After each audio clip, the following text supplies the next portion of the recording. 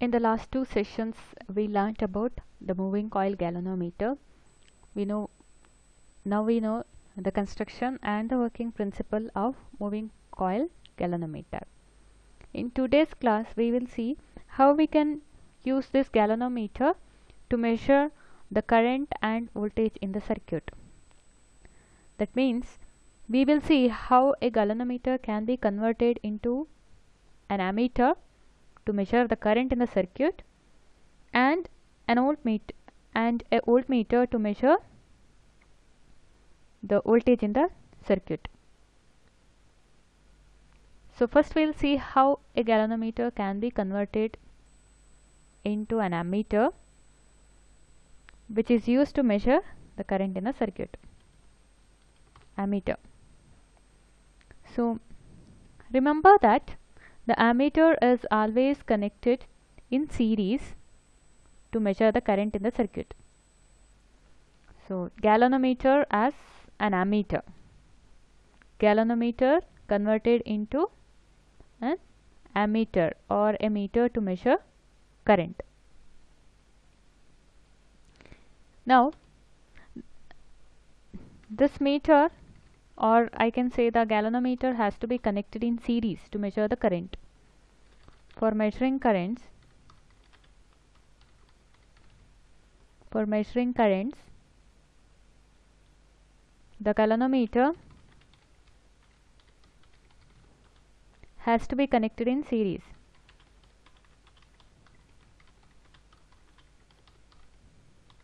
Now for example, if you have any circuit let us say in general we have a circuit where we have some resistance and a battery. Now if you want to measure the current in the circuit you have to connect an ammeter in series with this or a meter galvanometer in series with it. So this is series connection.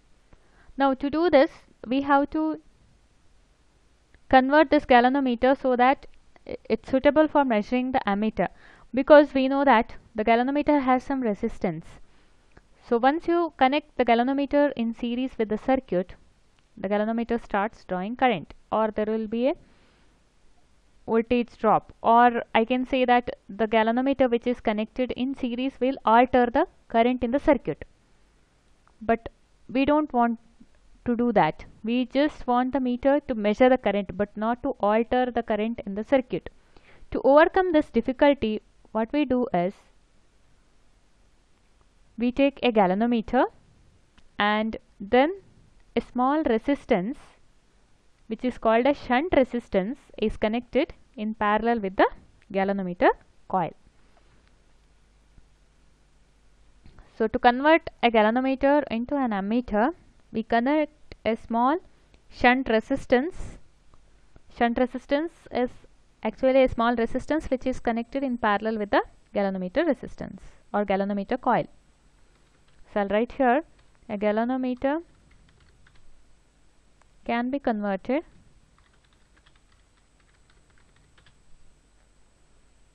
into an ammeter by connecting by connecting a small resistance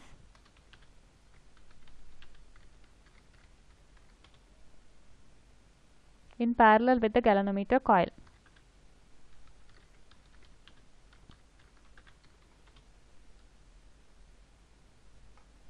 in parallel with the galvanometer coil. Sorry, here it should be meter.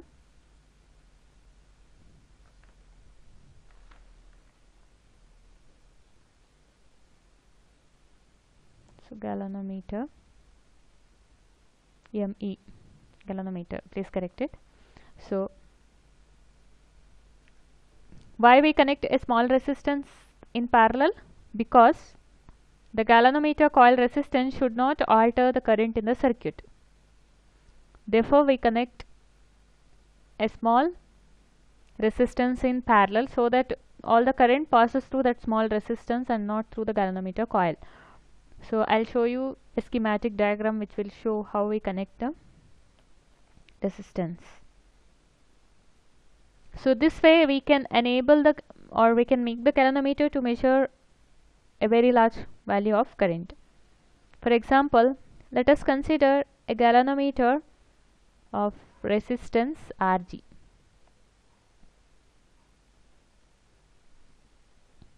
so let this galvanometer has a resistance Rg so let Rg is the galvanometer resistance.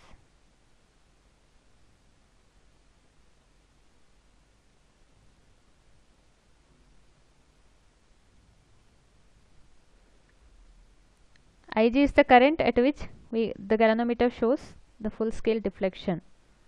Or Ig is the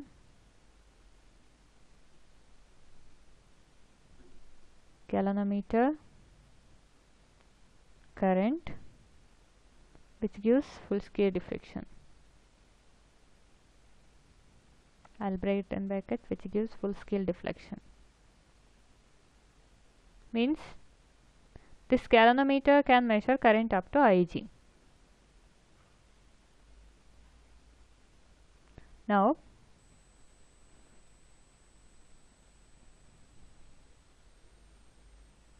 let I is the current to be measured.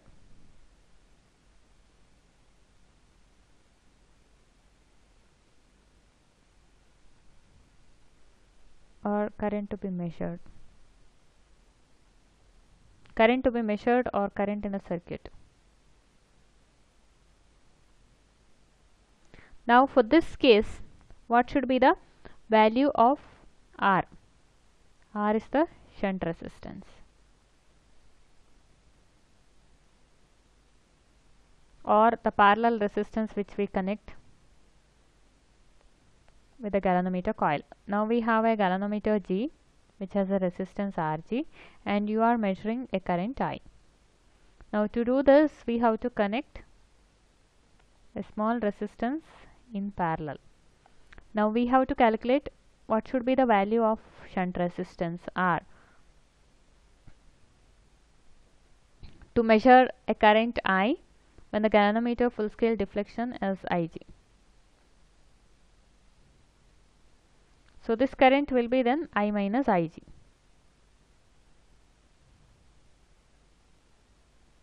So I minus Ig is the current through the shunt resistance.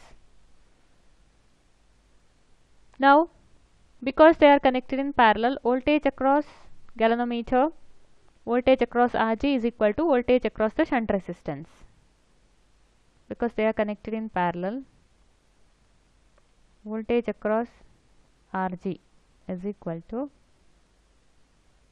voltage across R. So what is voltage? Voltage is Ig into Rg. Ig into Rg is equal to I minus Ig into R. So to measure a current I,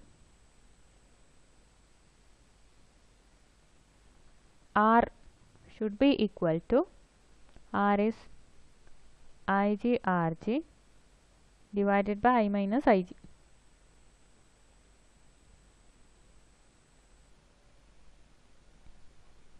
Ig is the current for galvanometer at which the galvanometer gives a full scale deflection. I is the current in the circuit which is to be measured. So this value R is Ig into Rg divided by I minus Ig.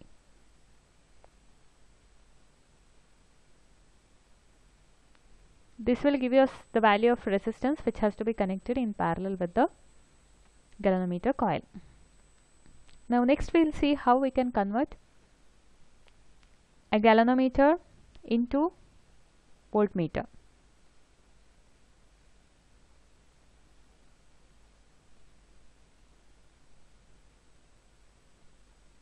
Voltmeter. To measure a voltage, like for example same circuit I will take and when you want to measure, for example in this circuit let us say we want to measure the voltage across this R. We have to connect a meter across R that means in parallel with the circuit element. So voltmeter is always connected in parallel with the circuit. So we know that uh, you know it should not draw a very large current. It should draw only a very small current so that the current in the circuit should not be altered. Gallon uh, the voltmeter is always connected in parallel so it has should draw only a small value of current. So to do this what we do is we connect a very large resistance in series with the galvanometer so a galvanometer can be converted into a voltmeter by connecting high resistance in series with it. Because voltmeter is always connected in parallel with the circuit where you want to measure the current. So if your if your voltmeter has a small value of resistance then what happens? It will start drawing the current and hence the current in the circuit is altered. So in order to avoid this to a galvanometer a high value of resistance is connected in series. If this value is very high, if R is high, it will draw only very small current and hence the current in the circuit will not be altered. So you can write that a galvanometer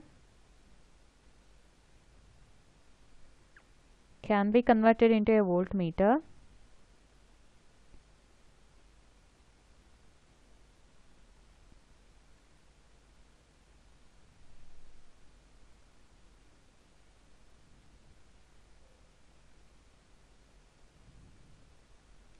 by connecting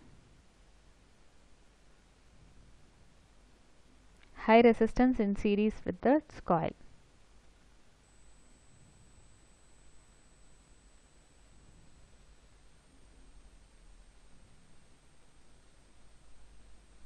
with it.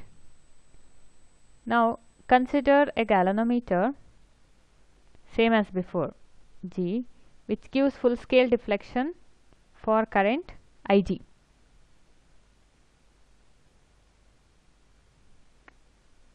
Now we have to connect a high value of resistance R in series with it.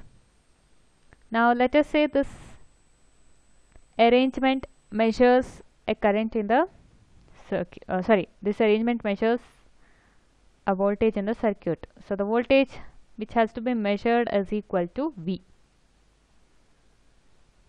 let V is the voltage to be measured and RG is the galvanometer resistance and R is the shunt uh, sorry the series resistance high value of series resistance which is connected in series with the galvanometer coil. Now Ig is the current.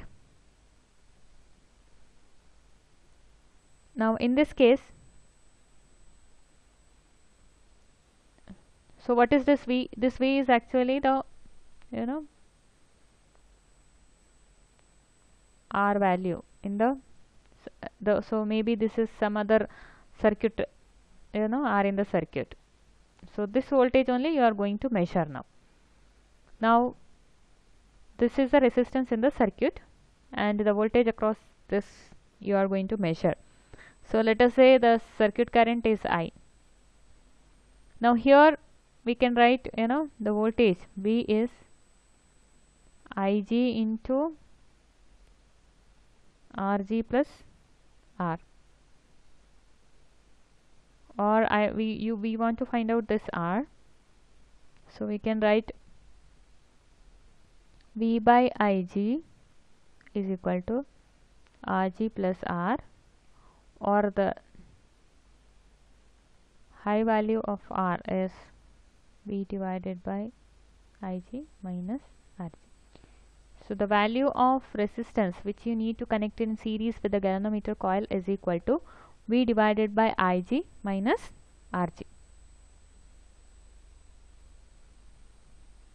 So remember the conversion of galvanometer to voltmeter is done by connecting a very high resistance in series whereas conversion from galvanometer to ammeter is done by connecting a small resistance in parallel with the galvanometer coil.